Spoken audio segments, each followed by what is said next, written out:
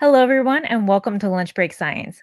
I am Ariel Johnson from the Leakey Foundation, a nonprofit dedicated to supporting human evolution research and sharing discoveries in programs like this. We'd like to thank the Anne and Gordon Getty Foundation and Camilla and George Smith, whose generous support made this episode of Lunch Break Science possible. Here with us today is Leakey Foundation Baldwin Fellowship Scholar and research grant recipient Dagmawit Getahun. Um, Dag, thank you so much for being here with us today. Thank you for having me. That's I'm really excited. It's a great way to to end end this month. I don't I don't know.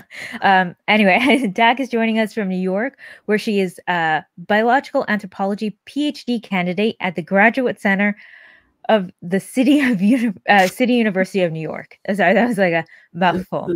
Um, title.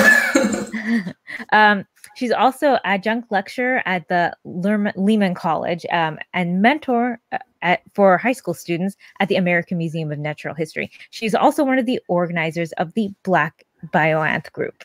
Um, her research takes her to fossil sites all over the world, uh, including the Homa Peninsula of Kenya. And um, here's a little image of one of her sites, a little sneak peek preview. Um, and also to the uh, Arsi region of Ethiopia to look at wild gelada habitats one of the um, the gorgeous photos from the her site there. So today we'll be exploring the evolution of gelada monkeys and their ancestors. Before we get started, if you're watching us live on YouTube, Facebook, Leakey Foundation Live, or Twitter, you can submit questions for Dag anytime in the chat, and she will be answering those questions at the end of the episode. The earlier you get those questions in, the more likely she'll be able to answer them. Also, we will be having a quiz for you a little later, so be sure to uh, be ready to type mm-hmm. your answers in the chat as well. So, Dag, we usually hear about you know fossils of human ancestors or the behavior of monkeys that are alive today. Why don't really we really ever hear about the fossils of monkey ancestors? Um, I, I actually think it's because of a number of reasons. Um, so the first is um, in terms of human evolution, you know, uh, being humans ourselves, we're always interested to know more about, you know, like our own evolutionary history, how we came to be, what was happening uh, in the past. Uh, and also, uh, most you know mainstream media outlets usually report on human evolution, so that's what a lot of um, people outside of the field get knowledge of. Um, and in terms of primate um, non-human primate evolution uh, for a long time there haven't been that many people studying it. Um, there's you know individuals here and there. Um, but nowadays i think um, it's a growing field and more people are getting into it. And hopefully you know we get a little bit more of the shine with human evolution as well I was I was just it was making me think there's not a like a gelada gazette where the geladas read about their own ancestry with new finds but um, yeah no it's um it, it is really interesting. Um and how did you become interested in studying anthropology? Oh this is a long story. I'll try to cut it down. Um so uh i was born and grew up in ethiopia and you know, a lot of um, human evolutionary studies, uh, paleoanthropological studies uh, are from uh, Ethiopia, or the findings are from Ethiopia. And, you know, you grow up hearing about all of that. Uh, and there's that influence in the background and that pride, that national pride of, you know, having these fossils. Um, and so that was something I've always kind of been interested in. But in school, you know, I did really well in science science um, subjects. And in Ethiopia, what that means is you either go one of two routes. You either go into medicine or engineering. And um, that's also kind of what I did. Um, I actually um, entered into med school um, right after high school. Uh, I did a year of med school. Uh, so in Ethiopia, we don't have the four year pre med programs. Um, we do four to five months of pre med and then go straight into preclinical. So um, as I was doing that, I really felt deep down, you know, that wasn't my calling, that wasn't what I was meant to do. And I remember one day um, I saw this book that my grandfather had given me, and it was the um, Origins book. Uh, it's a really old book. It was like, you know, tattered and everything. and I, you know, knew that like that is a field I need to go into. And so while I was in med school, I started looking for programs in, you know, evolutionary biology or something similar. Um, and at that time, the archaeology department was launched at um, Addis Ababa University, um, where it was one of the schools um, that was part of our um, university system.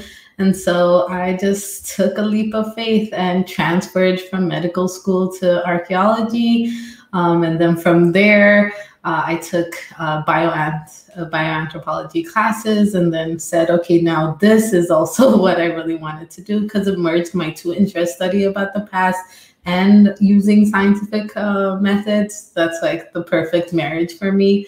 Uh, and so once I was done, I decided to, you know, pursue my education further and go to grad school. So you received your first Leakey Foundation in 2014, which was a Baldwin Fellowship. Um, how did that impact your career? That was pretty impactful for me because um, when I applied to go to grad school in the US, um, and all international students will know this is that you have to show some sort of funding um, that is readily available for when you move to um, the United States. And so at that time, I, I had just gotten my acceptance to the program um, and I was super excited. Um, but the acceptance uh, at that time didn't include funding. And so it was basically a provisional acceptance for me because I wouldn't be able to get a visa if I didn't show funding. And so my advisor recommended, you know, like look into Leakey. Um, and when I went on, I saw a bunch of faces I knew. A lot of Ethiopians, uh, really great Ethiopian researchers, uh, were featured on the page, and uh, you know, made it more accessible to me. And so I applied, and I got the grant, and that really cemented, you know. Um, my visa process, my process of moving to the US, and you know, continuing my education Well, you do an amazingly diverse amount of research. You split your time between, you know, you know, archaeological field sites and and primate field sites in the lab and collections all over the world. What what exactly in all what what exactly in all does your work encompass and how much time do you spend in each of those locations? So for my research, I've kind of taken a slightly different approach of um, usually in these kinds of studies, you'll see that people study a time period and then different groups across that time period. Um, I decided to focus on one group and then go through time. And because of that, my um, research is actually pretty um, diverse in terms of like what I need um, what kind of data I need, what kind of places I need to go. So, uh, because I'm interested in evolutionary um, history, I have to go to fossil sites, so um, paleontological sites, and you know look for fossils. Um, and because I'm, you know, all the group I'm studying also includes living uh, monkeys, I have to also go and look at those monkeys and you know do my research on that. Um, and uh, I also have to, you know, go to different museums and look for um, fossils that were already collected and analyze those. So these are kind of the three branches of my research. Uh, um, I'd love to hear more about yeah, your work at the field site in Kenya. Now you've got some really amazing pictures to share too. Yeah, so as part of um, the program I'm in, um, NYCEP, which is I always forget the the full form, but it's the New York um, Consortium of Evolutionary for Evolutionary Primatology. I'm able to work with a lot of people, you know, across um, different uh, institutes in New York, and one of those people happens to be um, Dr. Tom Plummer, who has a really great um, site in uh, Kenya that he has been working on for many years, and he invited me to go to that site uh, because it is also one of the sites where um, uh, one of the first fossils of um, which is the genus of geladas that I study, was found at. So of course I had to, you know, jump at that chance, and it was a really great experience, uh, and it's a great uh, collaboration. So, do I describe the pictures? Sure. Yeah so one of the things you know one of the first things we do when we go out into the field that no one really tells you is that a lot of it is walking around and searching for fossils on the surface because we you know we don't just pick a spot and and dig randomly. You actually have to survey it. Um, if you find numerous, you know, artifacts or fossils on the surface, that tells you there might be more underneath. So we, you know, spend the day. We take a little area each. We divide it into sections, and we just walk around, you know, looking on the ground, um, looking for fossils.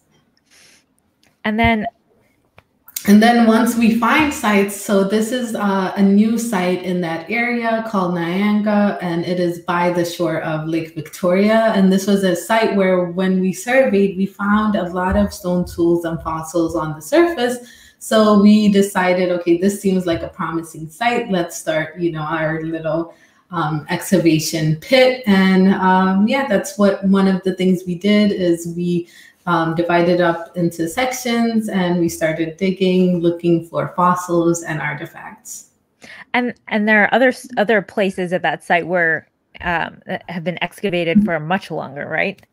Yeah. So this is the site of Kanjera um, North. And this is a site where um, Tom and colleagues have been working for more than um, 20 years. So that uh, pit that you saw was really deep because it's been um, dug year after year. So that level we're on is like the 20th year level of digging. And so um, those types of sites are also really exciting because um, you can actually look at the sides and see the stratigraphy of the area um, and also join into a project that's been really well studied. And what happens when you actually find a, a fossil?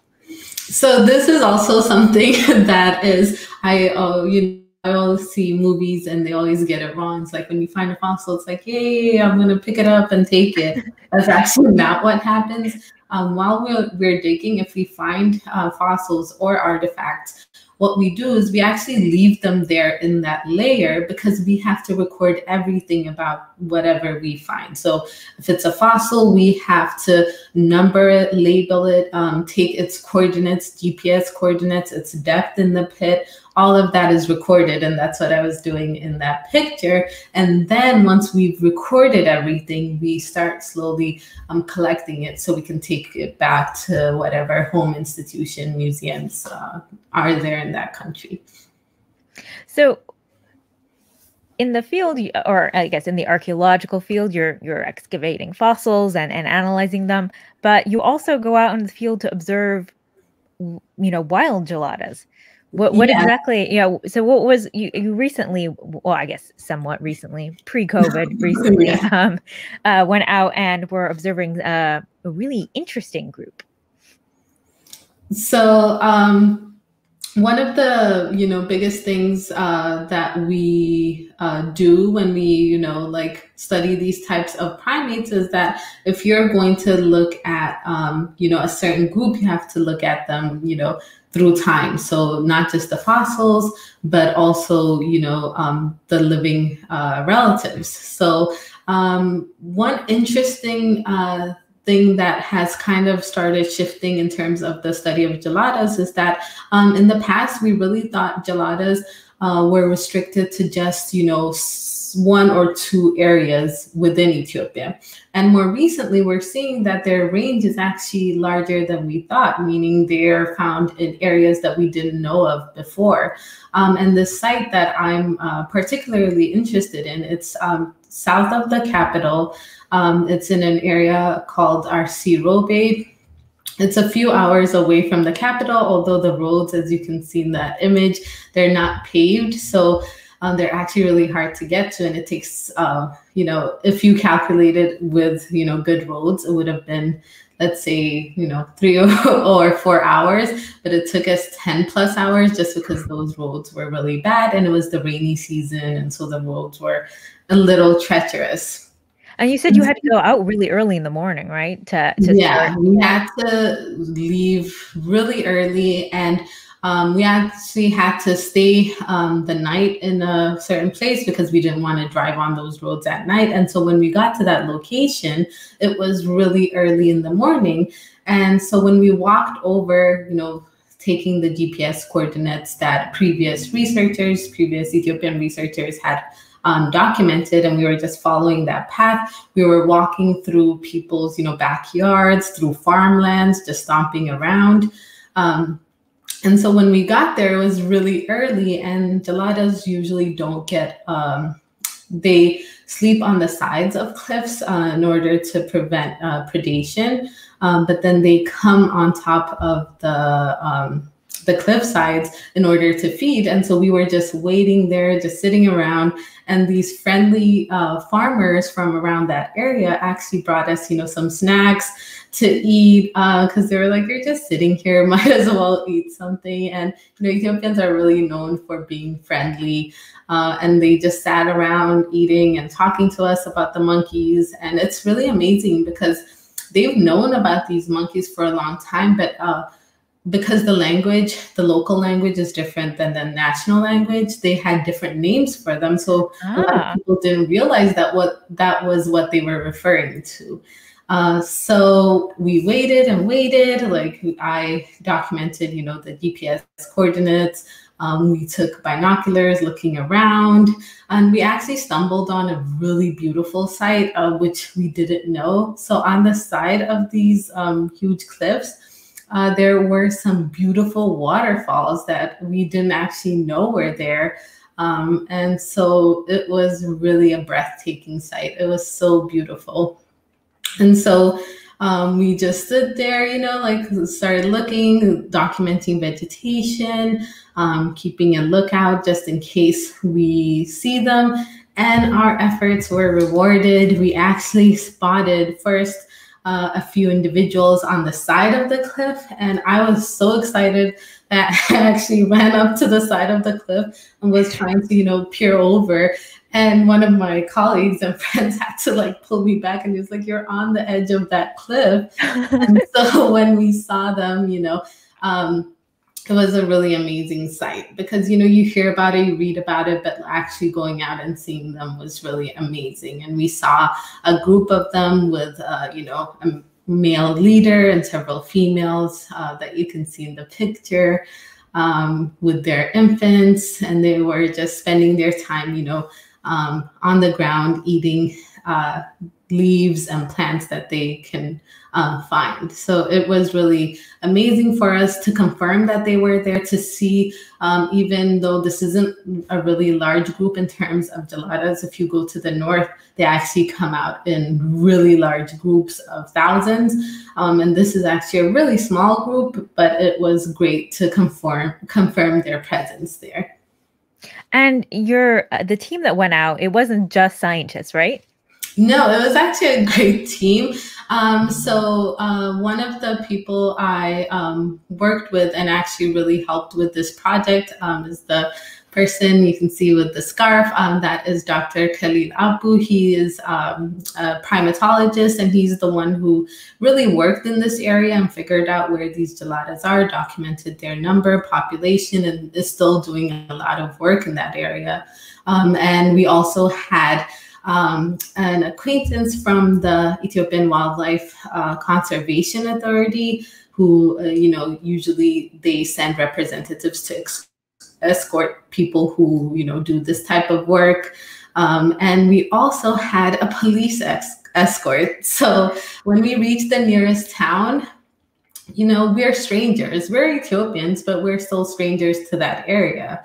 Um, and so um, around that time, especially a few, a year and a half or two years ago, there were some political tension in that area. So having these strangers come in, um, people don't know your intent. You know, you could be a spy, you could be, you know, trying to take advantage of them. So um, uh, the people in that town actually said, you know, you should take a police escort, especially if you're going to be walking through people's farmlands and things like that. So we had a police escort, and he was great because he knew the people. He was just waving like, "Hi," you know, like these guys are here to watch, you know, monkeys. I know they're crazy, but that's what they're doing. But it was a really great team. Well, awesome. I'm now really excited to hear your talk. So let's um, turn over the virtual floor to you, Dag, and hear more about, you know, the evolution of geladas and their ancestors. Great. And also for our viewers, get ready because following we will be having a quick little quiz and it'll be we'll also be hearing about Dag's mentorship program at the American Museum of Natural History. So really excited about that. Okay, let me share my screen. I mean, the the that waterfall site. I mean, oh, I just I wish I were there. and and the thing is, like, it's one thing to know it's coming, but to be surprised by that. Yeah. I actually was joking. Like, it looks like a you know a scene straight out of Jurassic Park. Uh, oh, it does. Like, it looks so pretty. And um, I, I think one thing you had mentioned to me uh, when uh, we first talked was that when you first saw the geladas, they were across the uh, like gorge there. Yeah. So we saw a small group across, and we were so disheartened because we thought, okay, we can't cross that gorge. You saw how big it is. And yeah. to go around, it actually extends like several regions. It's not even just like that one town. So it would take days. And so we're just like trying to, you know, uh, I was trying to zoom in with my camera and we didn't even take any good pictures. And so when we, that's why I got so excited when I saw them, you know, coming up uh, from the cliffside. And yeah, it was it was a lucky day for us, a successful day. Okay, I think I, yep. Well, I will see you on the other side of your presentation. Thank you. Okay, so for my talk today, I've actually decided to give a kind of broad overview of my research, but also focus in on one specific project um, within my dissertation research, uh, just to give you guys an idea of what I'm doing. And so uh, I'll be talking about um, the evolutionary history of gelada monkeys and their ancestors. And this uh, entire group um, is called uh, the genus Theropithecus. So I'll be referring to them, you know, as a group, um, Theropithecus. And I also want to acknowledge this really beautiful um, photograph I have of a gelada male, and it was taken by um, an amazing photographer, Jeffrey Kerby, who um, works for Nat Geo and has been so kind to provide me with um, a lot of his pictures from um, different uh, populations of geladas in Ethiopia. So thank you, Jeff. Okay, so so, one of the biggest questions I get when I talk about my research is why Theropithecus? Why this group? Um, and my sarcastic answer is usually why not? but there's actually really great reasons for why this um, whole uh, genus is a great uh, topic of research. One of the reasons is that even though um, the representative living group of Theropithecus, Theropithecus gelada, or gelada monkeys are only found in Ethiopia, so um, distributed in different populations um, in the highlands of Ethiopia. In the fossil record, um, so millions of years ago, this was actually not the case. There were actually a lot of different species distributed all over Africa and even in parts uh, outside of Africa. So we find them in North Africa, East Africa, even down to South Africa and sites. Uh, there's some fossil fragments uh, from Spain, um, Middle East, as well as even in India. So this was a unique thing for um, non-human primates around that time. Uh, and so this makes them an interesting group uh, to study. And in their distribution, something also very um, interesting about these um, monkeys is that in most of the sites that these uh, fossil monkeys or fossil remains are found, they are usually found um, with uh, fossils of human ancestors, so hominin fossils. And so we know from this evidence that they shared um, habitats with our human ancestors. And so uh, learning more about these monkeys lets us figure out more about our own evolutionary history uh, as well. So that's also one big reason. So, what do we know about um, the phylogeny of this group, meaning the evolutionary history? Uh, how many groups were there? How many species? Uh, and what we know today is that there's three major lineages. Um, so uh, two major fossil lineages and one uh, living or extant uh, lineage. So we have Theropithecus brumpti, um, which is a fossil uh, lineage, uh, Theropithecus oswaldi, another fossil lineage, and then living uh, Theropithecus gelada lineage. So, how do we identify these uh, monkeys in the fossil record? So, luckily for us, uh, Theropithecus uh, species are actually very um, distinct and easy, fairly easy to identify in the fossil record. Um, and this is because they have several features in their skulls, particularly that allow us to distinguish them. Um, particularly in their teeth, um, Theropithecus specimens have uh, very distinct teeth, uh, especially their molars. They have really high cresty molars, as you can see in that image, because of their diet. So um, if you've seen talks about geladas in the past, even on this series, you'll know that they are, um, geladas are herbivorous. Um, primates that feed primarily on grass. So, in order to um, ingest these and uh, really break down grass, they have specialized teeth that allows them to do this. Um, and also, in addition to that, we have different features like the temporal lines that you can see over here. They uh, actually join in the middle and form this slight triangle that you see. Um, and also their um, skulls are constricted right behind their orbits in order to allow the muscles uh, for chewing this type of food.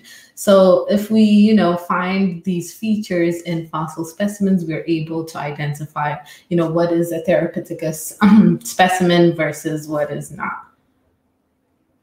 So for my dissertation, I know this is a lot of text, um, but I'm looking at a wide variety of questions um, in two broad categories. So I'm looking at systematics, what is uh, basically reconstructing the evolutionary tree of um, Theropithecus, meaning, you know, uh, figuring out when did they first appear in the fossil record, how many groups were there throughout uh, their evolutionary history, how are they related to each other, and uh, so forth. And also, how are the living groups related to the fossil groups? And also within the living groups, uh, are there different subspecies uh, in the different areas of Ethiopia?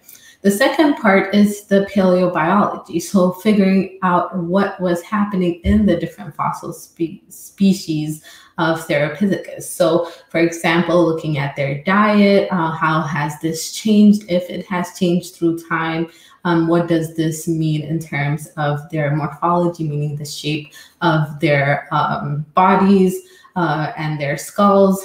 And also uh, answering kind of unique questions. For example, there's a, a fossil species that uh, looks very different from the rest and has a really unique look and uh, figuring out why that is. So, so, you know, a lot of questions to be answered.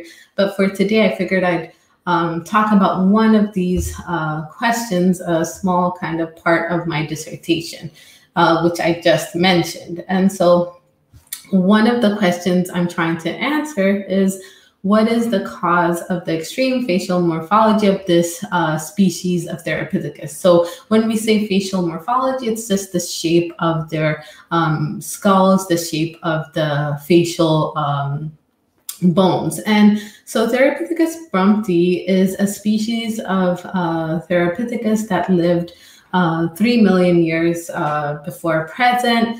Um, and we find fossils of this uh, spe- of this species in Eastern Africa, so parts of um, Kenya, parts of Ethiopia as well. And what is really cool about these uh, about this species is that in the in the fossil record, when we find um, the skulls of these um, species, what we see is that they have a really unique uh, face, right? When you're looking at it, they uh, have the features uh, that I mentioned earlier, but they also have their own unique features. And one of these is their cheekbone. So they have a really um, crazy looking, actually, cheekbone. And what we found is that this is found in mostly the male um, specimens that we're finding, the male Theropithecus brumpti, and not so much in the females. And so uh, this isn't a very surprising thing because um, within the modern living geladas, we know that there is this thing called sexual dimorphism, which means uh, the males look different than the females. Uh, so they are different in terms of their appearance, their size, uh, and their overall morphology. And so we see this in the fossil record, but this is an extreme case in particular to this um, species, Theropithecus brumpti. And so for a long time, researchers have thought that this was due to diet, so the type of food that this group was eating at that time. So either eating really hard, harder um, material uh, food that was causing, you know, their facial muscles to do something different, or eating um, large sized foods that was causing um, you know that would enable them to open their mouths to a certain degree. And so that's why they have these spe- specialized features. Um, so with more studies that have come out about um, their diet um, what we found is that they actually um, are eating similar things to what we see in modern gelada populations. And so that caused you know me to question okay is it really diet that is causing this feature?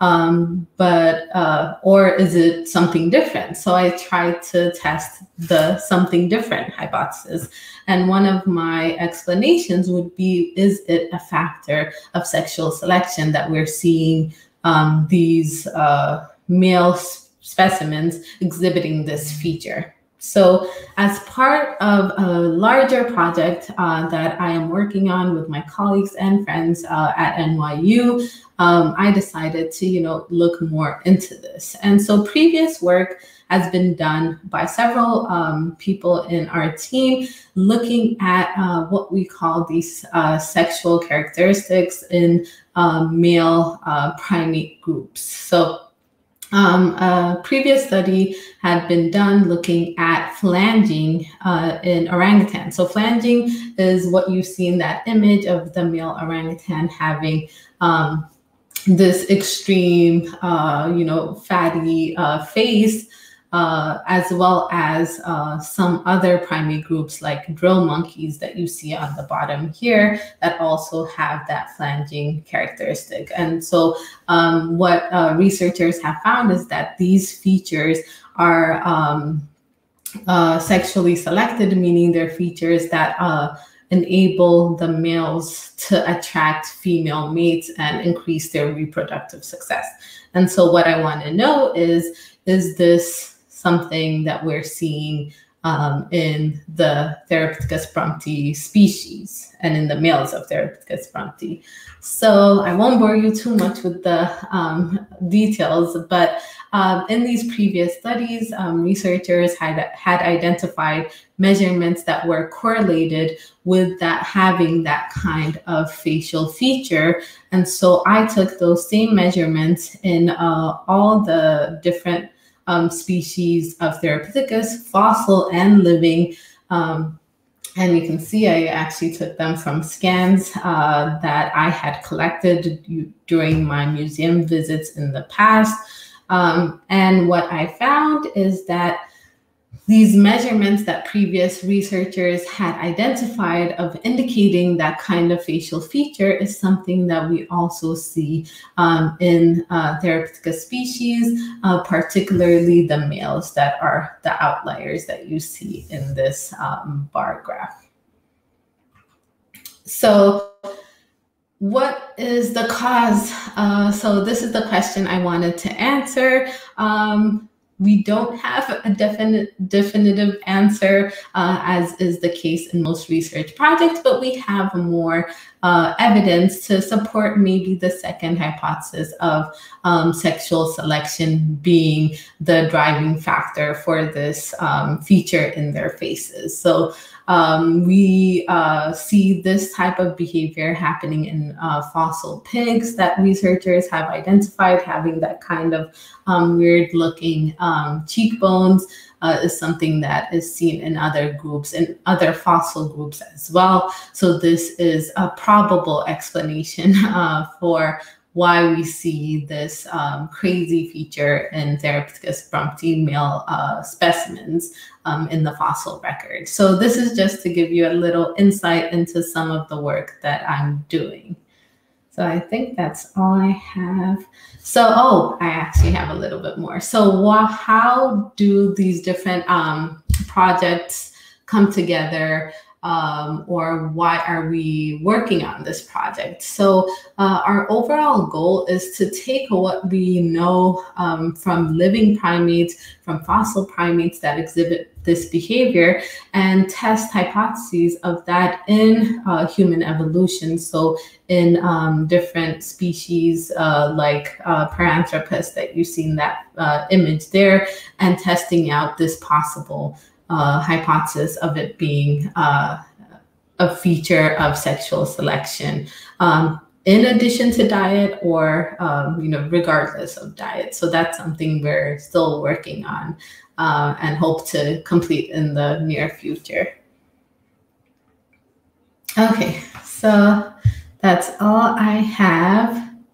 Well thank you so much. That was really interesting. I um it was it was really neat after having several episodes of lunch break science looking at you know live gelada behavior to really mm-hmm. look at their fossils and kind of hear more about their evolution. And just, it just was really really really interesting. Um but now we are going to have a little quiz for you all. Okay. um let me let me I hope you're paying attention. Yeah yeah yeah.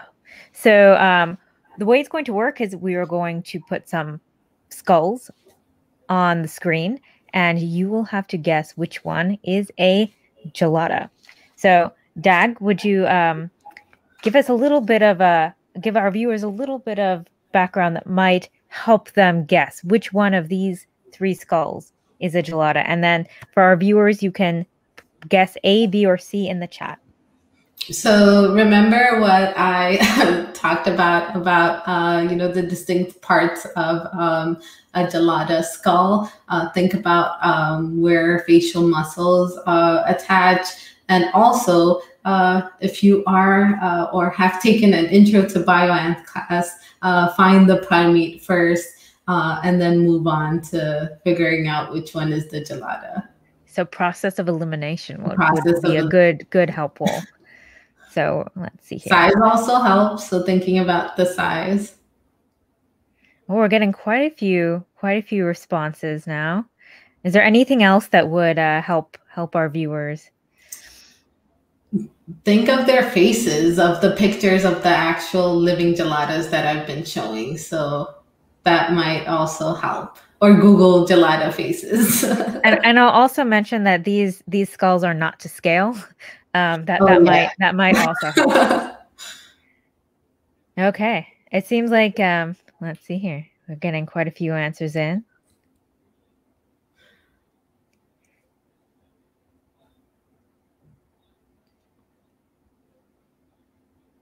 Let's see everyone's. So, Dag, what is the correct answer? The correct answer, everyone has really gotten it, is C. So what were what were some of the other skulls? So um, this skull is from a mouse lemur. Uh, so it's another primate. Uh, so it has the primate features, but as you can see, the eye uh, sockets, the orbits are really large because these mouse lemurs have really large eyes. So that would be a good giveaway, as well as having a shorter snout uh, than what we would see in geladas. and then maybe we should we oh uh, sorry about that. Um this last this last skull that we have not identified yet um is very different from the others. Should we have a should we have a little uh, uh extra yes, credit quiz? So yeah. what, what what about this skull is different from the others?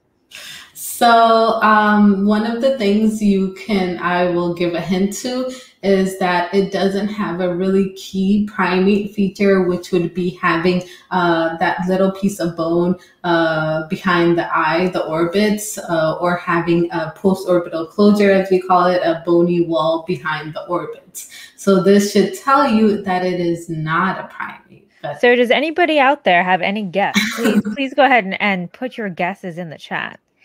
So what what else is there? The, the teeth look very interesting.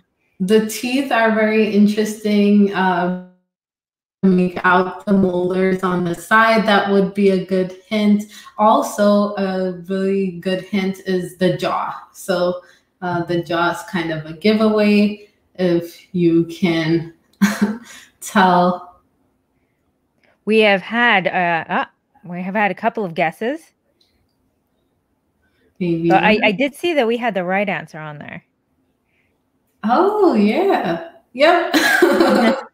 it's a panda. So I, I really love pandas. Uh, and when I actually saw their skulls, I loved them more, uh, particularly their jaws. You can see that the front part of their jaw, um, their coronoid process is really um, tall because, you know, um, pandas primarily eat the bamboo leaves uh, and bamboo sticks. So they really need these big muscles for um, processing that. So they have, it like goes all the way towards the top of their cranium. So it's just a, a cool uh, skull that I really like looking at. And I feel like, you know, it was kind of a, a trick question because it wasn't a primate at all. So I gave that away though. So oh, oh yeah, yeah, yeah. but I, I, like when we first saw the lineup. But um, anyway, so um, thank you all for participating in that uh, quick quiz. But now let's hear more about the outreach you do. So, Dag, you work with the American Museum of Natural History to mentor high school students. Can you tell us more about this program? Yeah, so this is a really amazing program that I'm part of. Um, so it's part of the education department of the museum.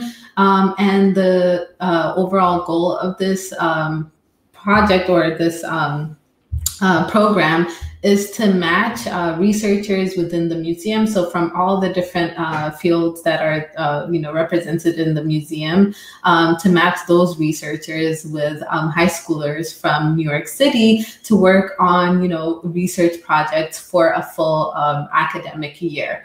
Um, so researchers get matched with three or uh, now I think it's three or four um, students, and we work on a really full on um, scientific project. Uh, and so they can get a glimpse, a little insight into, you know, what it is that scientists do, and actually um, get hands-on training on how, you know, collecting data, processing, analyzing data, and they also uh, get to present on their data just like we do, right? They do talks, they do um, poster presentations, so those are um, my students from a previous year, uh, and they're also working on geladas. So I actually have them working on um, projects that I'm working on. So we're basically working on it together, and their insight is so amazing. Like the experience they bring um, and the fresh eyes that they bring to research, you know, that I've been looking at for years. It's been a really great um, experience for me. And you, you um, they actually are working on um, mapping the skulls that you're scanning, correct?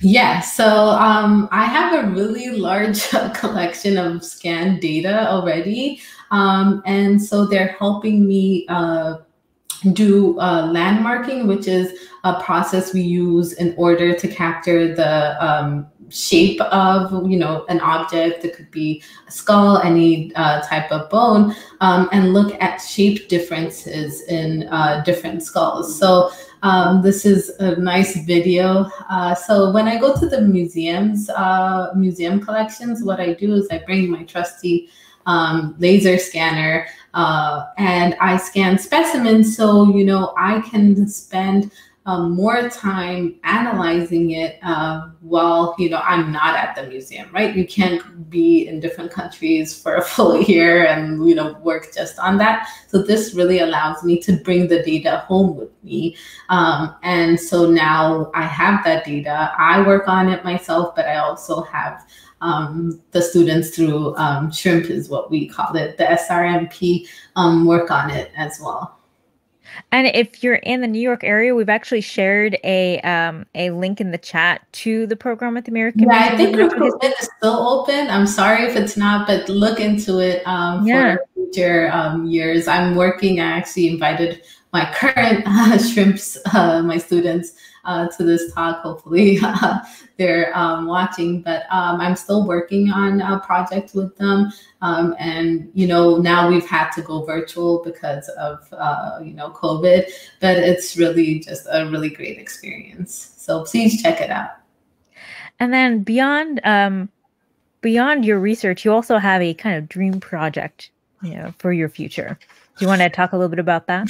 Yeah, so you know, being part of this program um, in New York has really made me think about, um, you know, the whole infrastructure um, in Ethiopia, which is you know my home country, um, and it has made me you know, really think about um, doing similar pro- projects or similar programs at the National Museum in Ethiopia because um, the museum is really great. Um, in addition to just the uh, exhibit part of the museum, there's a huge research facility um, called the ARCCH. It's uh, part of the Authority, Authority for Research and conservation of cultural heritage. So um, we have a really great setup there, really great minds.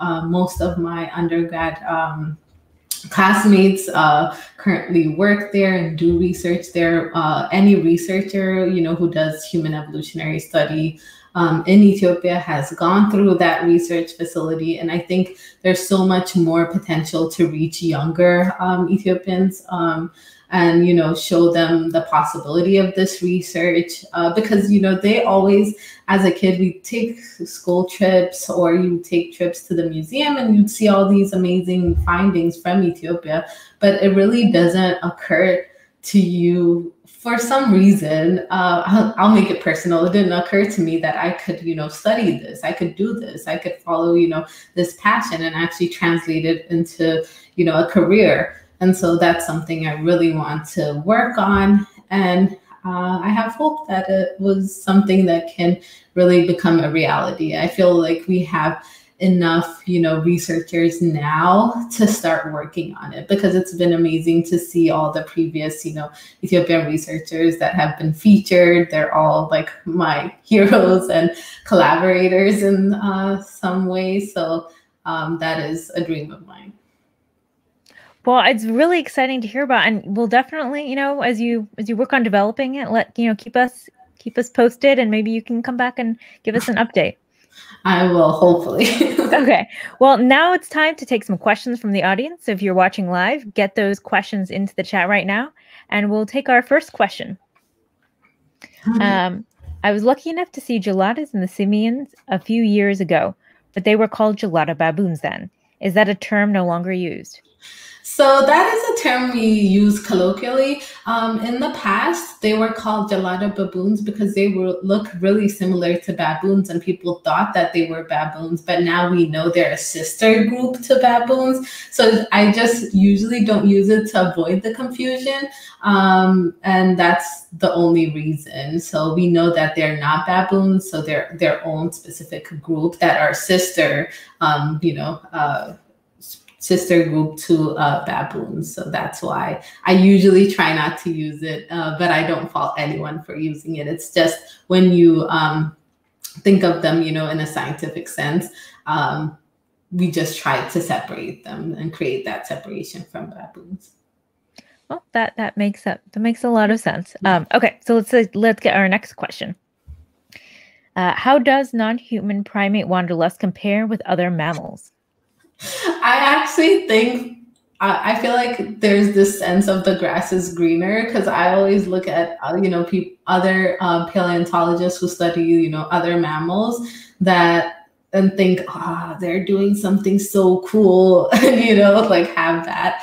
Um, but I think like there's so much similarity in the methods we use um, and the questions we're asking. So I feel like there's a lot of overlap, but I do have a little sense of envy for people who do, you know, other uh, types of paleontology. If, if you could study another animal, what would you study? Would it be would it be the pandas? oh my god! Uh, let me think.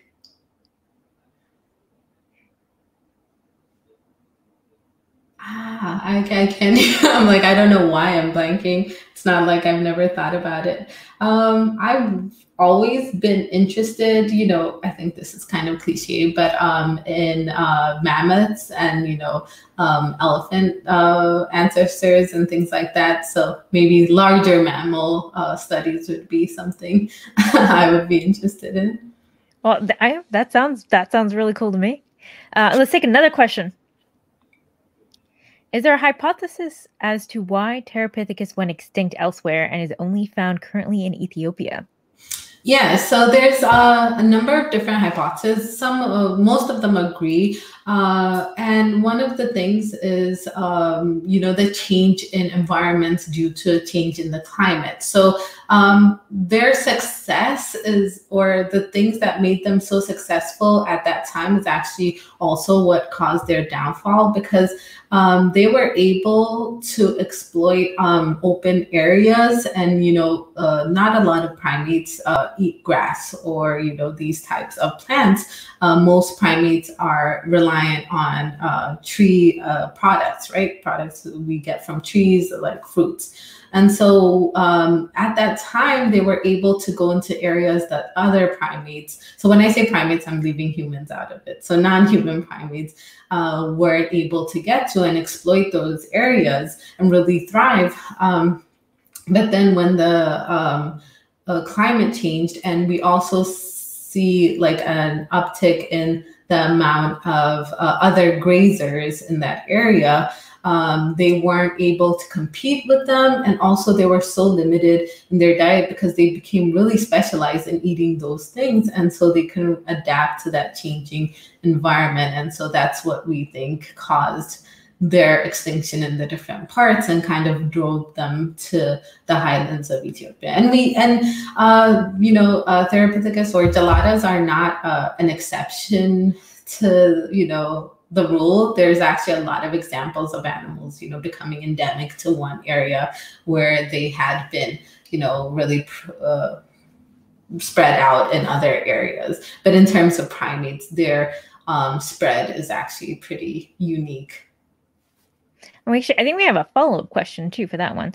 Um, are there Theropithecus fossils fragments found in India, Spain, and and Middle East in highland locations? So the locations uh, aren't uh, all highlands now. So um, we believe that the highland uh, being in these highland locations is actually a gelada and not a Theropithecus, uh, you know, characteristic. Uh, so in these other areas, they're found in deserts and things like that, where they used to be, you know, open grasslands. So they're not really in the highlands. Oh, okay. Um, how old are the first fossils of the Theropithecus genre? um, so we have uh, fossils dating uh, up to 4, 4.2, 4.3 million years ago. So we believe it could also extend to 5 million years ago.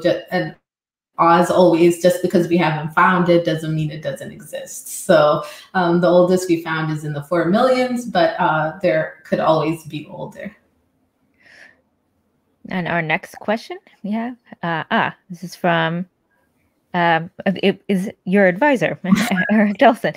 Well, why do you think that the uh, from lineage uh, disappeared while the Oswaldi group hung on after half a million years ago?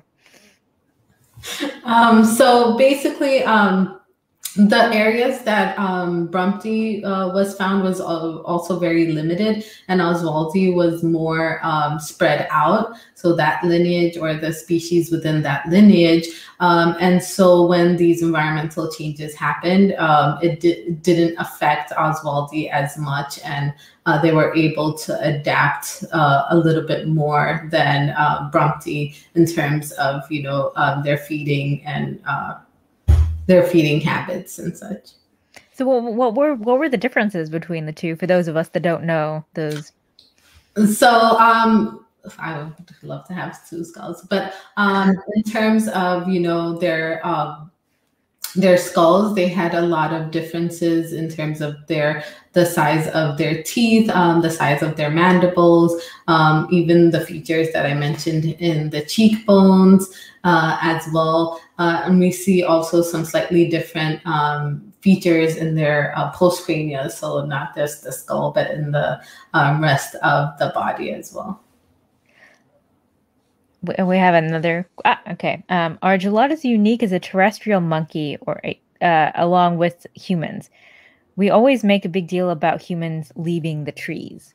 So geladas aren't unique unique as a terrestrial monkey because baboons are also pretty uh, terrestrial. And nowadays, baboons uh, kind of in the opposite trend of them not being as prolific in the past, but now they actually have a really wider distribution than what we see in geladas because they're found in different parts of Africa and different countries um, and different regions. Uh, so terrestriality isn't um, that unique, but the amount of terrestriality uh, in geladas is probably the most other than humans because they live in areas where there's almost no trees. So I don't know if in my pictures, even if you saw um, uh, the areas, there's not a lot of trees. It's just open, either grasslands or farmlands.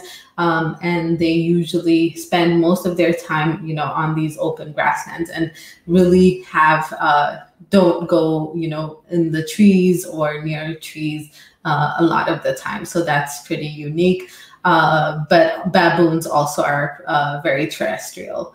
Uh, and that kind of, you know, uh, I know we talk about like in terms of human evolution of, you know, the kind of uh, stereotype of walking down, or we got down from the trees and started walking, which I'm sure most uh, paleoanthropologists have come on here and said it's, that's not like the exact picture. Um, but their terrestriality is why we find them in these uh, fossil hominin sites as well, because uh, humans were also living in more uh, open areas, and these monkeys were one of the few that were able to also live in those areas. Well, we're going to quickly try to get in two more questions. Let's see here. We have, uh, in term of sexual selection, is there something other male feature than in the face that in combination is attractive to gelada females, except, uh, for example, scent? So there are other um, things and markers of, uh, you know, sexual selection in geladas. One of the biggest or obvious ones is their chest patch. So, you know, I didn't talk too much about the modern geladas because I wanted to emphasize the fossils. But geladas, they're also called the bleeding heart monkeys because they have a naked patch of chest, uh, a naked patch uh, on their chests. Um, and in the males, um, that patch changes color. So um, when the patch is more bright red, um, it shows uh, that the male is healthy and dominant. Um, and in in addition to um, showing other males kind of like a don't mess with me vibe that I'm dominant, it also um, acts as, you know, something attractive for females to know this is a dominant, healthy male. Uh, but I'm not too, you know, uh, familiar or in depth uh, I don't have too much in-depth knowledge in uh, these uh, types of behaviors, uh, just because I'm more focused, you know, on the morphology, which is the bones, the skeletal structures, and the shape. Um, but that's one I kind of know off the top of my head. But I'm sure there's more. Well, well it sounds like a good topic for um, another lunch break science episode. I um, know. Um, have, a lot, there's a lot of great people working on this, and yeah. uh, another like not dream but a goal of mine is to kind of you know um, have this collaboration of all the researchers that uh, you know study geladas, and there is right now. I know they there's a lot of collaboration going on um, with people who uh, you know work at these different sites, but uh, I also want to incorporate, you know, the fossil uh, stuff with that too. Uh, and I think that's a, that's not a dream. I think that's something that will be happening very soon. Good, good, good. So we have our last question. Do you feel getting into bioanth programs are more accessible now than before? I do. I don't think it's like the best situation ever, but I think it's much more um, accessible than it has been in the past. Um, and especially just seeing, you know, more diverse faces um, shows you that, okay, you know, if she can do it, that's something I can do. And more programs are really leaning into this kind of work of, you know, making their programs accessible. I know a lot of grad school programs are thinking about, you know, dropping things like the GRE or financial requirements that would restrain a large, you know, number of students from pursuing these fields. So I think it is becoming more accessible, but I also think we have a really long way to go.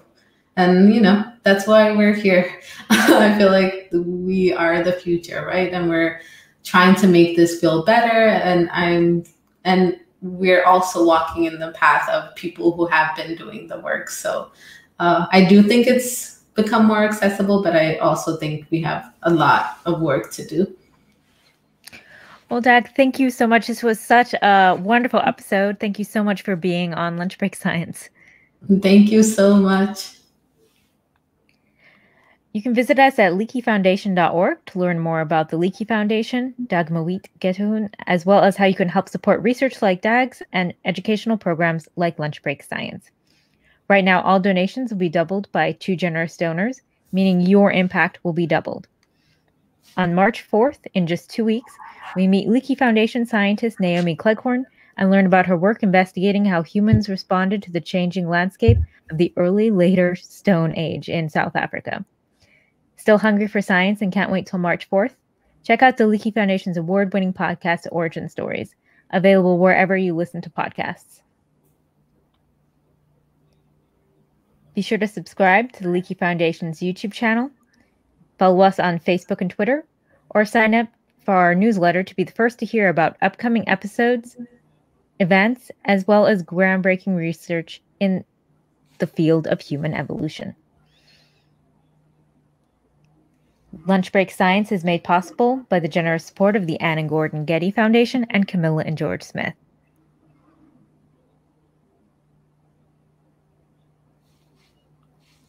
Thank you all for taking a break from your day and feeding your brain with the Leakey Foundation. Until next time, stay mm-hmm. hungry for knowledge.